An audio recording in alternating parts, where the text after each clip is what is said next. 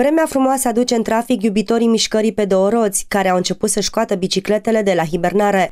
Pentru a nu fi implicați în evenimente rutiere, polițiștii sălăjeni ne recomandă să ținem cont de câteva sfaturi. Pentru a putea conduce o bicicletă pe drumurile publice, trebuie să aveți vârsta minimă de 14 ani, să cunoașteți regulile de circulație și să fiți echipați corespunzător.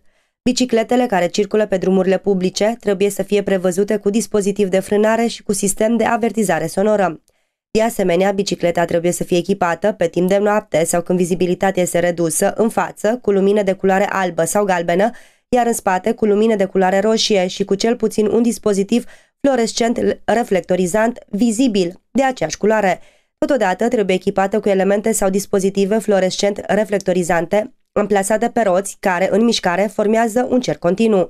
Înainte de a pătrunde cu bicicleta pe arterele prioritare, trebuie să reduceți viteza, să vă asigurați temeinic și să acordați prioritate de trecere celorlalți participanți la trafic. La schimbarea direcției de deplasare, chiar dacă aveți prioritate de trecere, asigurați-vă că ceilalți participanți la trafic au înțeles intenția dumneavoastră. Circulați cât mai aproape de marginea din dreapta drumului, iar atunci când vă deplasați în grup, numai în coloană, câte unul. Nu circulați cu bicicleta dacă ați consumat băuturi alcoolice. Purtați casca de protecție.